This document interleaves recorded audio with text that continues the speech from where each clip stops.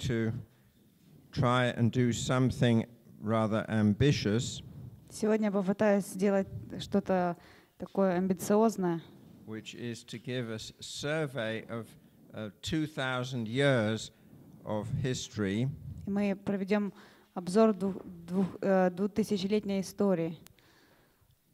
And in this first um, class, И в первом классе to talk about the beginnings, мы будем говорить о, самом начале этой and this is истории. all background to understanding the issues of revival, renewal, И это будет как предыстория к тому, чтобы понять э, пробуждение и обновление, reform, and restoration. и восстановление. Реформация, восстановление. Um,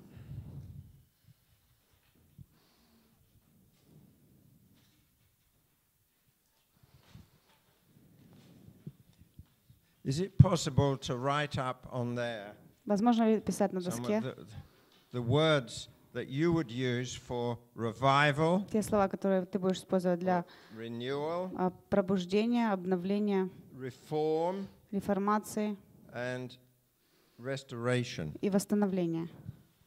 Пробуждение, обновление, реформация.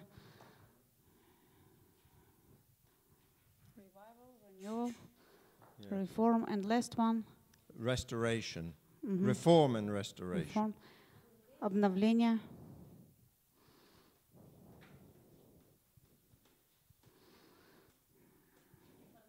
И восстановление, да. Да, реформация и восстановление. Because these are all connected ideas, but they're not all the same. Потому что это все идеи взаимосвязаны, но это не одно и то же. And they're all in some way involved in the work of the Holy И Spirit. все они каким-то образом взаимодействуют с э, работой Духа Святого. So, um, thank you. We will come back to those later. И позже мы возвратимся к этому.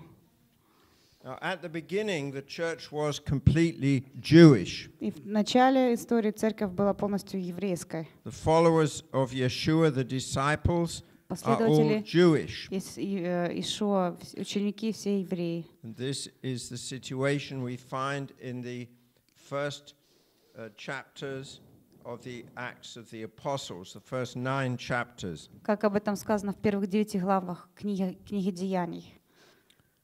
And then gradually, uh, this ch- church that's all Jewish И затем постепенно вся эта абсолютно Opens еврейская церковь to those who are not Jewish, начала принимать to the неевреев, Goyim, Гаим.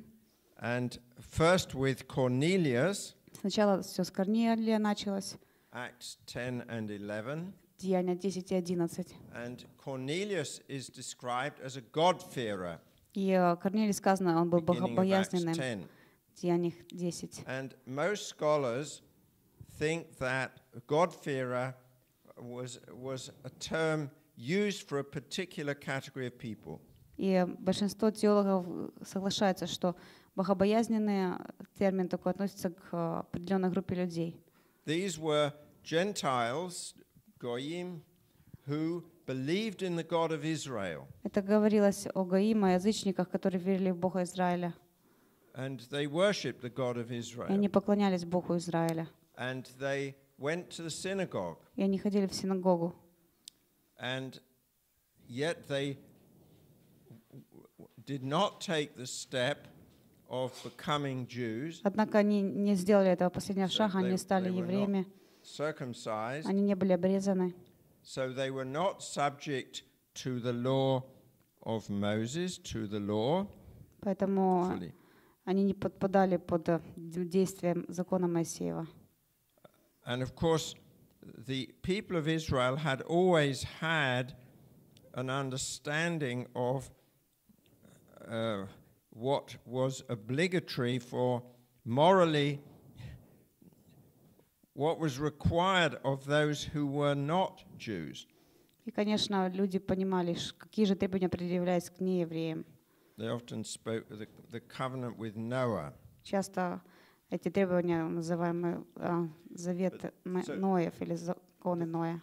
The Ноева. first stage of opening to the Goyim was with Cornelius, Поэтому первая стадия, первый этап начался с Корнилия, but then there's the big opening up that happens to with complete pagans, people with no connection with Israel, with the Jewish people. Затем следующий этап — это когда абсолютные язычники, безбожники, которые никакого отношения не имели к Богу Израиля. And this happens in Antioch. А, Это происходит в Антиохии, And we произошло в read Антиохии. about that in the last part of Acts chapter 11. И это написано в последней, второй половине 11 главы Деяний. And so Antioch is the first place Поэтому Антиохия — это Where первое место, the Первый город. community of believers, of disciples, где община верующих is made up. There are Jews and there are Goyim состояла уже из я- евреев и из Гаим, who have been converted to faith in God, um, the Father of Yeshua. которые были обращены в веру, в веру в Бога, Отца Ишуа. And so, um, of course, Paul, the apostle, Paul was was in Antioch. И, Конечно же, Павел, апостол Павел был в And- Антиохии. The the mission to the nations, led first by Barnabas and Paul, И миссия, которая была возложена для других народов на Варнаву и Павла, вышла из Антиохии. So Antioch is the first place of the church of the one new man. Поэтому Антиохия — это первое место одного, первого нового человека. that Paul writes about О чем Павел написал в послании к Ефесянам. in Ephesians 2, Один новый человек в Ефесянам 2 главе. where he speaks about Jew and Gentile being reconciled где он говорил о примирении евреев и язычников in one body в одном теле through the cross, через крест. and that they become, they are united. God destroys the wall of hostility, of Это что? Они объединены, и Бог разрушил э, преграду, э, стену враждебности между ними. This is what it says in Ephesians 2. Об этом сказано Ефесянам 2 главе. And in fact, in Ephesians 2, it's very interesting to look at the contrast between verse 12 and verse 19. Кроме того, интересно посмотреть на контраст между 12 и 19 стихами в Ефесянам 2 главе. So if you look at Ephesians 2:12, Если вы откроете Ефесянам 2.12, you see that he Paul describes the condition of the pagans of the Gentiles before their conversion. Павел говорит о состоянии язычников до их обращения. He says, Remember that at that time you were separate from Christ, from Messiah, Помните, что вы были тогда отчуждены от Христа, от Мессии, excluded from citizenship in Israel, отчуждж- отчуждены от общества израильского, foreigners to the covenants of the promise, чужды заветов обетования, without hope не имели надежды and without God in the world. и были безбожники в мире. And then it speaks about how um, those who were far away, the Gentiles, have been brought near Затем through the сказано blood of Yeshua. о язычниках, которые были далеки, и теперь они стали близкими через кровь verse Ишуа. 13. В 13 стихе. But it's then he come in verse 19, И затем в 19 стихе пот- he's writing to these converted Gentiles. он обращается к этим обращенным язычникам. He'd spoken about their previous state before conversion in verse 12. Он говорил об их прежнем состоянии в 12 стихе до обращения. And now in verse 19, he tells them what their new condition is in Yeshua. И теперь в 19 стихе говорит о новом состоянии их в Ишуа. So he says, You are now no longer foreigners and aliens, И теперь он говорит, вы более, так вы уже не чужие и не пришельцы, but fellow citizens with God's people но сограждане святыми свои Богу and members of God's household. и сограждане э, святым и свои Богу. And so, you see, the picture we have here is that the church is a, a renewed Israel. И здесь картину мы видим такую церковь, это обновленный Израиль. And um, we can understand many things in the New Testament in this light. И многое мы можем понять в Новом Завете в, с- в таком свете. For example, Jesus' choice of the 12. Например, э, избрание Иисусом 12. It's clear that Jesus chooses 12 disciples Очевидно, что Иисус избирает were 12 12 tribes of Israel. 12 учеников из э, 12 колен Израилевых. And there's passages in the New Testament that confirm this. И э, есть стихи в Новом Завете, которые подтверждают это. So the idea that um, the church is something completely different from Israel Поэтому та идея, что церковь это что-то абсолютно отличающееся от Израиля, is not right. неправильно. And the idea that, that for Jews to be saved, they have to be brought sort of out of Israel into the church, this is wrong. И также идея, ш- э, что евреи, чтобы спастись, должны быть исключены из Израиля и быть присоединенными к церкви, тоже неверно. In fact, th- this picture that Paul's giving in Ephesians 2 И эта картина, которую мы видим в Ефесянам 2 главе, is the church is renewed Israel то, что церковь — это обновленный Израиль, centered on Yeshua, а окруженный вокруг Ишуа, либо цен- центром является Иешуа. So the, the, the Jewish people have to be presented with Yeshua, Поэтому Иешуа нужно р- рассказать, передать евреям. and the Gentiles have to be brought into this renewed Israel. И е- язычники должны присоединиться к этому обновленному Израилю. So at the beginning, Поэтому в начале we have a picture that's like this. у нас, б- у нас была такая картина. We have Israel Был Израиль, here, and then we have a.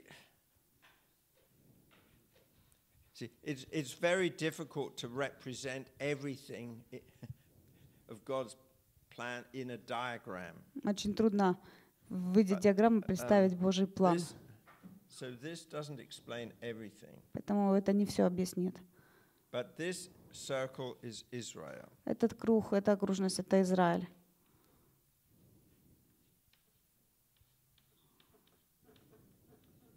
And so, but then there's part of this that believes in Yeshua. Затем часть, которая уверовала в Ишуа, в- Израиле. So, but actually, of course, Yeshua is really in the center of Israel. Ну, конечно же, Ишуа находится в центре Израиля. Um, so that this picture doesn't express that very well. Поэтому на этой картине мы это не увидим. But then we get the Gentiles Но who weren't part of Israel есть язычники, которые не были частью Израиля. being brought in and connected with Israel. Они были соединены с Израилем. And so this becomes the church. И это this становится circle. церковью, этот круг. And um, this was the situation after um, Antioch, after the decisions of the apostles and elders of Jerusalem. И такое была, такая была ситуация после решения апостолов в Иерусалиме, That we read about in Acts 15, о чем мы читаем в Деянии 15 главе. And that was the situation around the years 50 to um, И такая была ситуация примерно в 50 70 52-70 годах. In the first century after Yeshua. после Ишуа. Okay. Now, what we know that this situation did not last, И мы знаем, что так не продолжалось долго. but in some way it's important to remember this expresses something of the heart of God. Но такая картина, такой образ выражает желание Бога, либо то, что в сердце See, Бога. it, it belongs to the nature of the church as the body of Yeshua И Если взять э, церковь как тело Ишуа, to be a union of Jew and Gentile. э, это должно быть в церкви должно быть единство еврея и е- нееврея. This is what Paul says in Ephesians 2. Об этом Павел говорит в Ефесянам Of course. 2 главе. You get a similar teaching in Romans И такое же учение мы 11 можем найти в Римлянам with 11 different главе, image. Где другой образ. Romans 11 with image of olive tree. Там образ э, взят э, маслины. Now, this situation did not last. И такое положение дел So долго не длилось. Why was this? Почему? What happened? Что произошло? Well, first of all, the of course the admission of the Gentiles, the decision at Jerusalem, Потому что по решению в Иерусалиме, то, что было принято the Holy привключить Spirit, ев- the Holy неевреев, Spirit led um, Paul, Shimon, and Yaakov, то, что э, Дух Святой вел Петра, Павла, them. и они все были в единстве, и они пришли к общему согласию, общему решению, и они заметили, что это дело Духа Святого. They say it has seemed good to the Holy Spirit and to us. И они сказали, что Дух Святой полагает это нужным, полагает это хорошим, так, как, так и мы. This decision of Acts 15 И решение принято в Деянии 15 главе, формирует основание для правильного отношения Между верующими евреями и верующими неевреями в Ишуа. И позже об этом говорю, буду говорить. Okay? But what so obviously this decision in Acts 15 would not have pleased um, some of the of the Jews. Конечно же, такое решение в Деянии 15 главе не очень понравилось некоторым евреям. And what we find is that towards the end of the first century, то, что мы видим, что к концу первого века the, the believers in Yeshua, there's a decision of the rabbis in the land было такое решение, принято раввинами в земле, to Израиля. exclude the disciples of Yeshua Ис- from the synagogue. исключать э, верующих в Ишуа из синагог. Now, um, sometime in some books, you, you read um, that the, the Jewish believers were all expelled from the synagogue towards the end of the first И в century. некоторой литературе даже можно найти упоминание, что все верующие в Ишуа евреи были изгнаны из синагог по концу первого века. Actually, that's not accurate. В принципе, это не точно. What happened was there was a meeting of rabbis То, что произошло, была встреча раввинов in Yamnia, явны, Yavne, and th- they made a decision и они приняли решение. And th- but the rabbis of of Yav, at Yavne, the rabbis in the land who were there, had no authority to make a decision for the whole Jewish people. Но у этих раввинов явно не было права принимать решения за всех евреев. They, they had no authority over the synagogues of the diaspora, У них э, не было власти над синагогами, находящимися в диаспоре. and so this decision was important one at, at Yavne И поч- поэтому это решение в Явне because было it did важным. lead to Jewish believers being um, expelled from synagogues in the land, Потому что это таки привело к изгнанию, исключению евреев из синагог в самом и- Израиле. even there there are records of, of uh, cases where uh, believers, it seems, were not expelled from the synagogue. Даже есть и записи такие, что в некоторых случаях э, евреев не изгоняли, не исключали. There's been a lot of study of this question of the relations between Jews and Christians at the beginning. И очень много провели исследований меж- между взаимоотношениями между евреями и неевреями в самом начале. There's a lot of different opinions, есть очень много разных мнений. but the, probably the majority opinion И большее большинство мнений, которые существуют, is that this process of separation говорят, что это процесс э, разделения, took was it was a process over time что этот процесс э, ушло некоторое время, и этого не произошло повсеместно, повсюду за один раз или за So какой-то один момент времени. the 150 years after Yeshua, Поэтому на протяжении последующих 150 лет после жизни Иешуа, уже во втором веке после Иешуа, there, w- there, were, there was an increasing separation, а, увеличивалось разделение, but there were still places но также все еще были места, where there were believers когда были верующие в евреев в синагогах, которых не исключали, не, изгоня- не изгнали. Now, so the expulsion of the Jews from the synagogue, who were believers, Поэтому изгнание из синагог евреев, верующих евреев в Иешуа, produced this situation. привело к такой ситуации.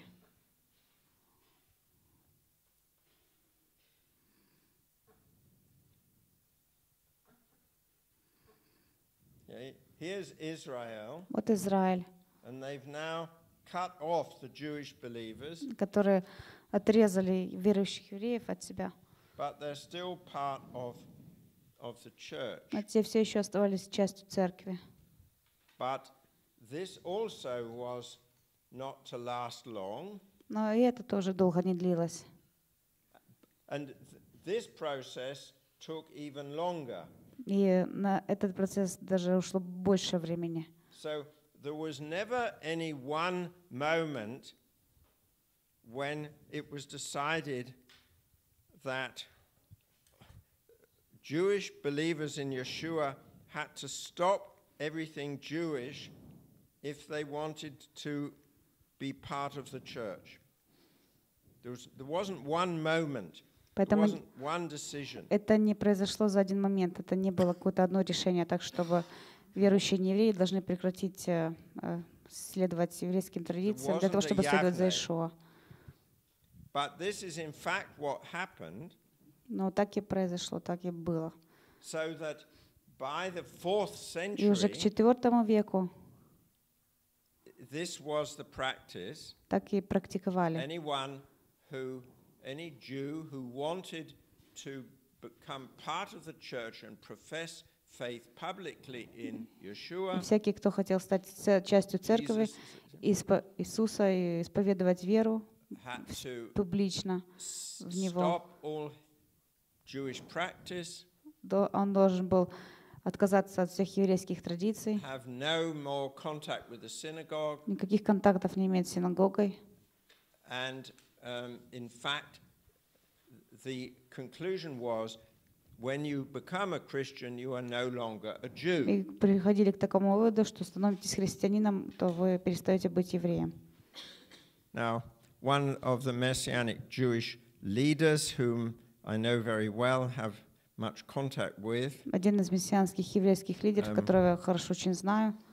Dan Juster, Даниэл Джастер. I know he's taught here. I don't, Я has знаю, he что он taught here здесь this учил year? Dan Juster, year, yes. year ago. Okay. Well, Dan Juster says this was the one thing through all the centuries И он говорит, что именно это стало причиной на протяжении всей on истории, which the church and the synagogue were agreed во- в чем как и церковь, так и синагога согласились. Пришли, и те и другие согласились. Невозможно быть евреем и- христианином в од- в одно и то же время. But this separation, whereby the the the, Jewish the Jewish believers in Jesus затем верующие евреи в Иисуса became separate from the Jewish the synagogue были од- э, отделены от синагог and separate from the church, which the Я д- church of the nations. и отделены от э, церкви из неевреев. This situation was developing И такая ситуация over развивалась, 300 years. наверное, 300 лет. But there isn't any one event that you can say this began that. Но не было ни одного события, благодаря которому мы могли бы сказать, что из, из этого события это привело к, так- к такой ситуации. Now, Все развивалось why постепенно. did that happen? Почему это произошло?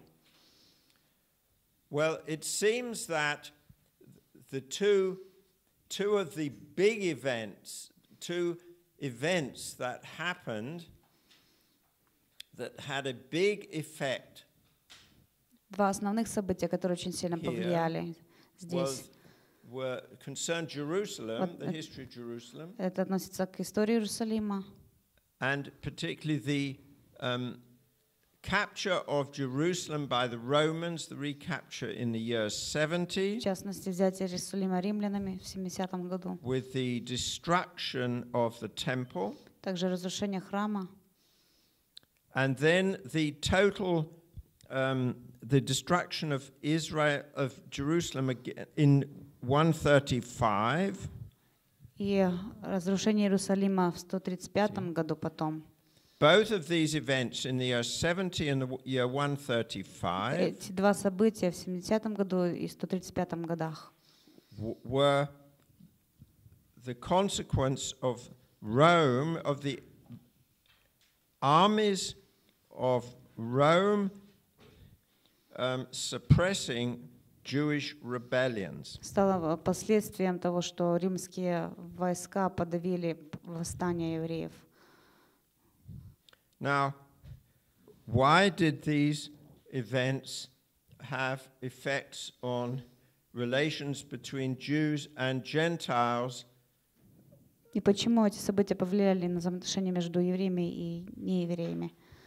F- First of all, um, m- many, um, many Jewish um, people thought um, that they saw these rebellions against Rome Во-первых, многие евреи думали, они видели In этот бунт, эти бунты, messianic terms. They saw them in messianic terms that it was that this was connected with они видели этот бунт в мессианском ракурсе, то, что мессианские евреи приготовят путь для Мессии. because they believed that the when the Messiah came, the rule of the oppression of the pagans of Rome, in this case, would be ended. И верили, что когда придет Мессия, то в этом случае угнетение от римлян завершится. They saw this in that way. The, the, belie- the Jewish believers in Yeshua И верующие евреи в Ишуа, uh, did not identify with this. и они отождествляли себя с этим. They, it seems the Jewish believers in Yeshua left Jerusalem before the year 70, many No. of them, Верующие евреи в Ишуа ушли из Иерусалима до 70-го года because of a prophecy they had received. из-за пророчества, которое было, он- было дано им. And so th- this uh, caused the Jewish believers to be s- suspect in the eyes of the Jewish nationalists. Можно сказать, это стало причиной подозрений э, еврейских верующих, ев- верующих евреев в Ишуа со стороны евреев-националистов. But th- the Jewish rebellion that began in the year 132 Но восстание ев- евреев, э, которое началось в 132 году, the man who led it человек, который вел это regarded himself as the Messiah. сам назвал себя Мессией, провозгласил себя And of Мессией. course, the Jewish believers in И, Yeshua конечно же, те, которые верили в Ишуа из who евреев, knew that the Messiah is Yeshua, которые знали, что Мессия they является could accept this. они не могли этого принять.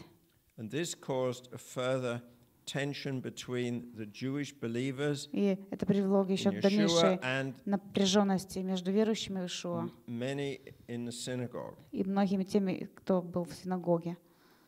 The other way in which these events of 70 and 135 influenced um, this И как еще события 70-го, 135 годов повлияли на их взаимоотношения. was that the catastrophes, what happened to Jerusalem, Это то, что произошло с Иерусалимом. it seems it was interpreted in very different ways by the Jewish believers and by the Gentile believers. Видно, что по-другому, по-разному интерпретировали это верующие евреи и верующие неевреи в Ишуа. Now, how did the Jewish believers in Yeshua understand the destruction of the temple in 70 Как верующие евреи интерпретировали and the разрушение complete храма Flattening of the city, И полное уничтожение Иерусалима. 135? а, в 135 году. Полное уничтожение сравня- сравняли с землей Иерусалим в 135 году. Well, we don't have records of how they understood it, И У нас нет записи, как они это поняли. but it's not hard to have a very good idea of how they would have understood it. Но нетрудно догадаться, нетрудно представить себе, как бы они, что бы они сказали. Because I think it, they would have understood it as the prophet Jeremiah Потому что они поняли это, как пророк Иеремия, понял. destruction of the temple разрушение храма Навуходоносора. Царем Навуходоносором.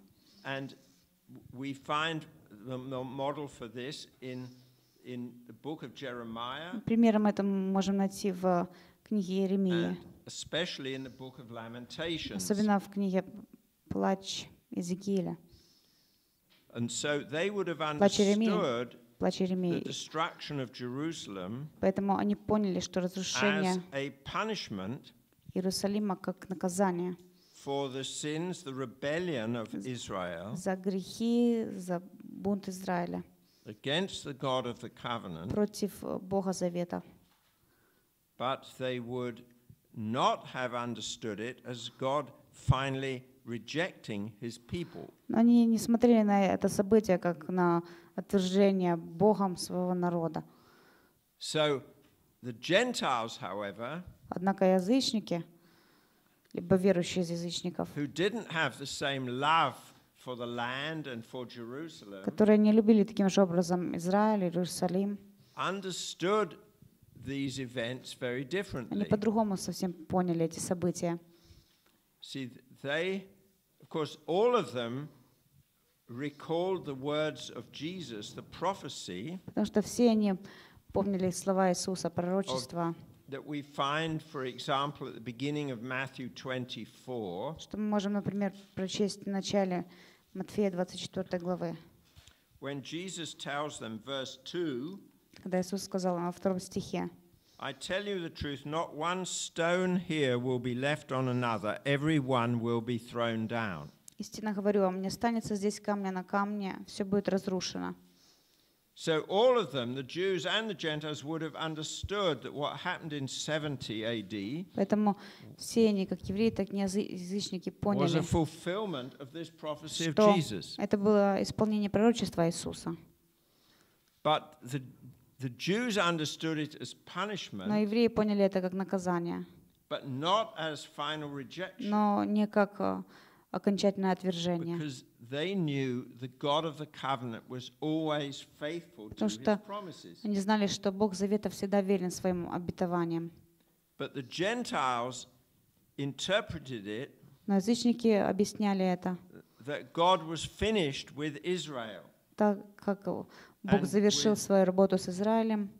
Uh, and th- this contributed strongly to the emergence of replacement teaching. И это очень сильно вклад внесло, было вложение в теологию замещения.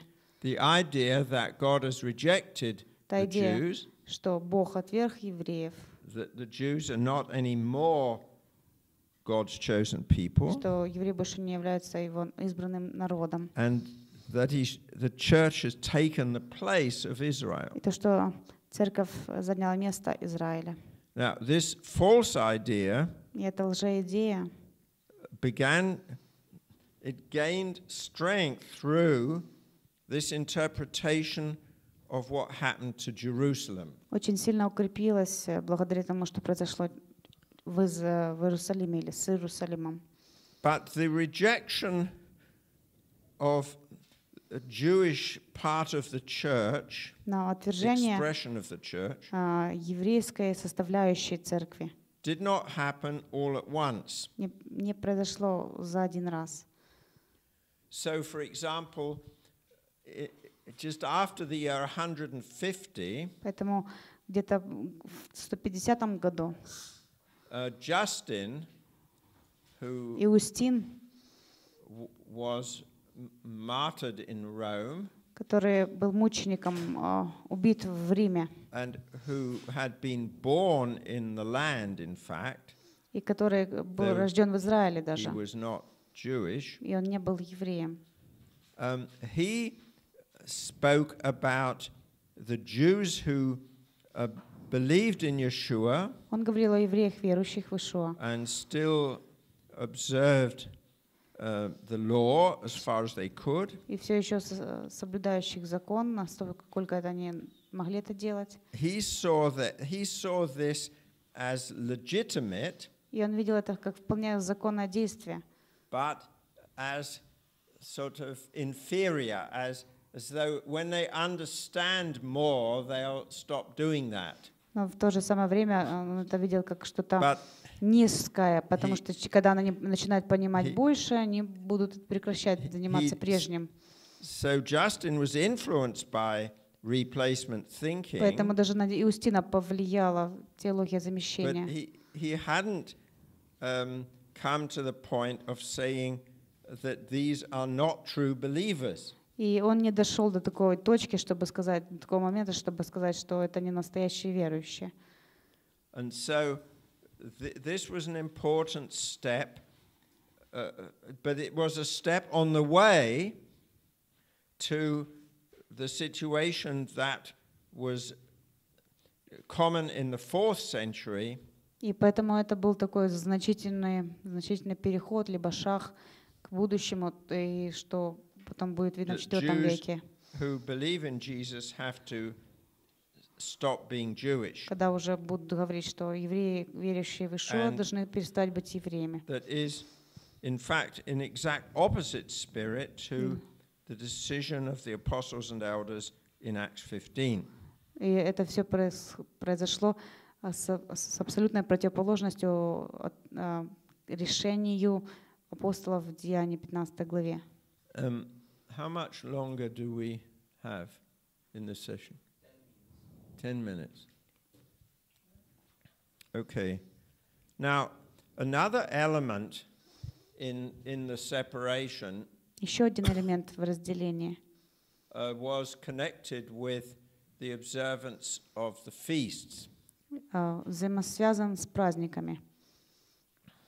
and particularly the date of the celebration of Pesach, or the celebration of the death and resurrection of Yeshua. И в частности празднование а, Песаха, празднование смерти и воскресения Ишуа. Now, here again, I find quite a number of books say things that are not accurate. И здесь тоже я много книг встречал, где неточности. Probably what, what I'm going to tell you, you may not Есть. have heard before. Поэтому, возможно, то, что я скажу вам, расскажу вам, вы раньше не слышали. Um, you see, the, the, by the middle of the second century, И к середине второго века the Gentile Christians Неверующие, а, верующие different не евреи practices for choosing the date when they celebrated the resurrection of Yeshua. либо верующие из язычников, у них были различные практики, либо то, как они избирали день для празднования воскресения Ишуа. There were, the, the, on the whole, the Christians of Asia Minor, Если взять христиан which is present day Turkey, Средней Азии, что на- сейчас, в настоящее время, это Турция, they followed the Jewish calendar следовали э, еврейскому календарю and celebrated the resurrection, the third day и не отмечали after воскресенье на третий день, Pesach. на третий день после Песаха. A lot of the church, И большее however, церкви, однако, celebrated the resurrection of Jesus праздновали э, воскресение Иисуса um, on the first day of the week. э, в первый день недели. Now, so the original um, difference here И was not a rejection of Jewish patterns. поэтому м, первоначально почему эта разница была? Это- не было из-за это не было из-за отвержения еврейских традиций, еврейских праздников, той модели, как, какой следовали евреи. This difference originally arose because Pesach doesn't fall on the same day of the week every year. Это does follow. Does not. Потому что Pesach, sometimes it Pesach is on a Monday, иногда sometimes it's a Wednesday, выпадает на понедельник, иногда на пятницу, другие дни не следуют какому-то определенному. Now, in the year that Jesus Дню. died, И в тот день, когда умер Иисус, this the third day was the first day of the week. третий день выпал на первый день недели, как сказано в Писании. Okay, and so the original Поэтому первоначальное отличие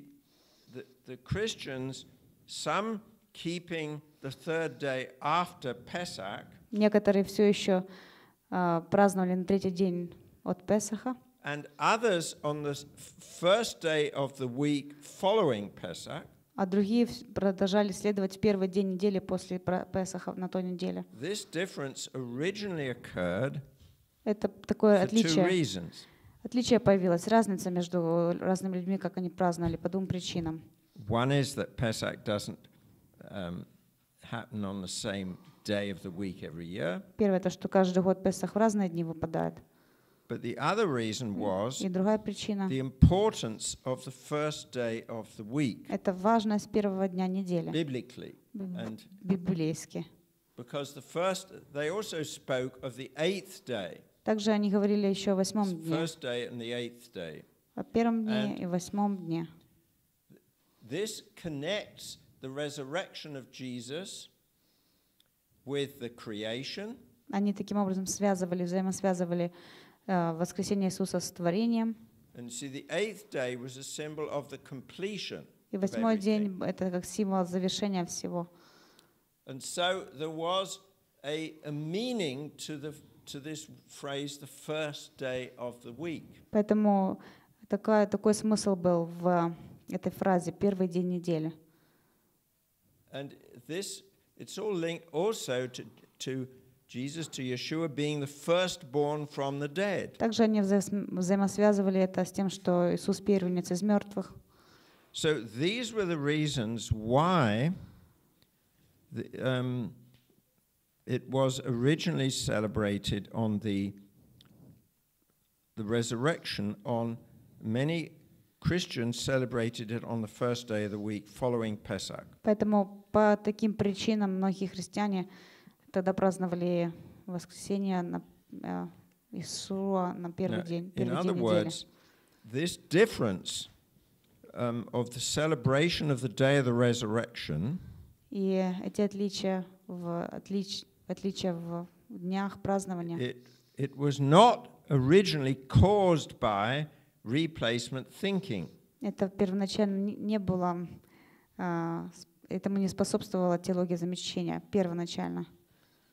But Но later, позже, when you see the decision that it was not allowed to celebrate the resurrection anymore on the third day after Pesach.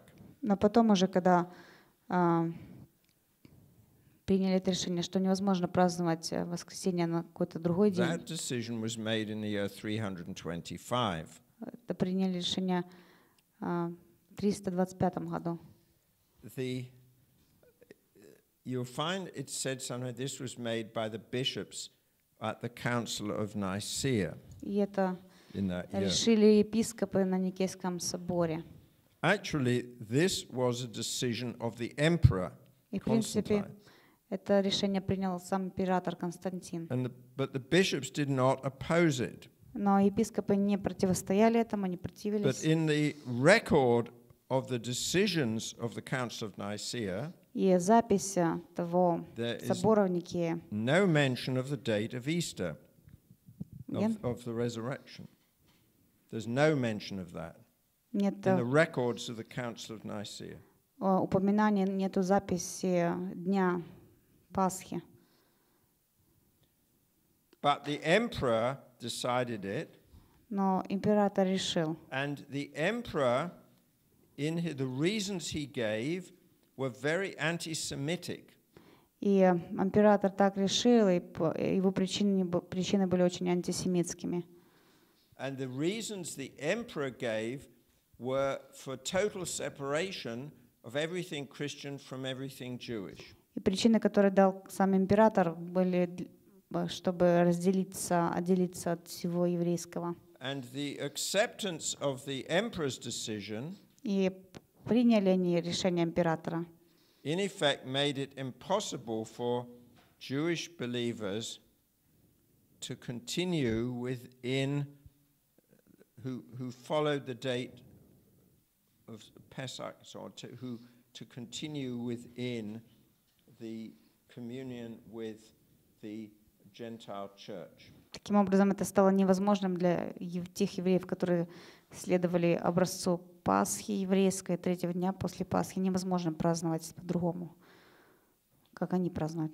And in fact, it was the influence of, the, of Constantine and then the close connection between church and empire затем взаимосвязь близкая между церковью и императором, that began to lead to the situation of Jews getting worse. привело к тому, что для евреев все стало становиться еще хуже. And the beginning of restrictions on the Jews Стали появляться ограничения для евреев, that um, had not existed under the pagan emperors. а, которых не было раньше, когда были п- императоры, а, язычники простые. Does anyone have a question? Есть ли у вас вопросы?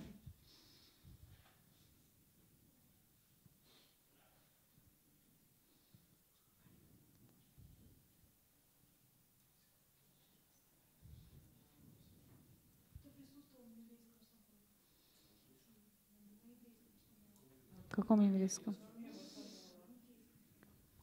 Who was present on uh, council in, in Nicaea, Nicaea? There were 318 bishops А, там было the church. 318 епископов церкви.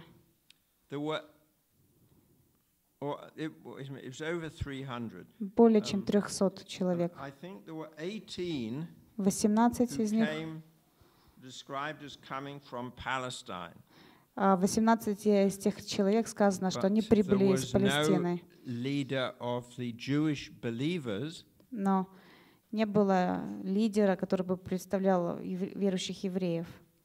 And you see, we don't have very certain И у information нас нет точной информации about groups of Jewish believers in Yeshua at that time. о группах верующих ев- евреев того времени.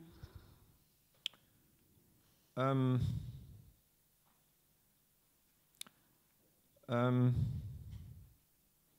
this is partly because somebody said history is written by the victors, by the winners. И частично это из-за того, как говорят, что история написана победителями. And um, so th- there's, there's not many records И нету много записей, survive of которые writings and допи- дошли до нас, evidence from the Jewish communities of записях о существовании еврейских общин, верующих евреев в Ишуа. But um,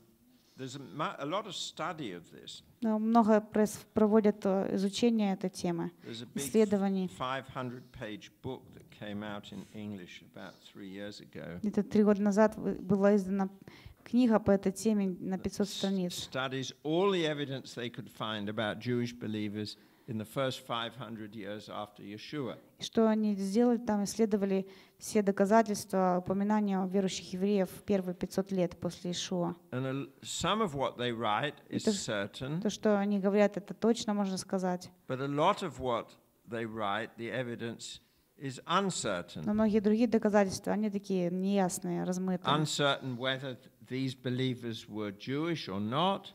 Не точно ясно, And, были ли то верующие в евреи, либо не um, евреи. the so you know w- w- we don't know for certain how many Jewish communities of believers in Yeshua there were at that time. Поэтому мы не, точно не знаем, сколько было тогда верующих евреев в Ишуа, сколько было общин таких. But it seems that communities of Jewish believers Но складывается ощущение, что lasted longest а, в- в- общины из верующих евреев дол- долгое время существовали. i- in places in the land and, Как в самом and Израиле, in s- present-day Syria. так и в современной Сирии. То, что сейчас мы знаем Сирия в той местности. But there were no representatives from this community at this council in Nicaea. Но не было никаких представителей от а, этих общин на этом, на этом Никейском соборе. Okay, so we take a break now. Сейчас мы сделаем перерыв.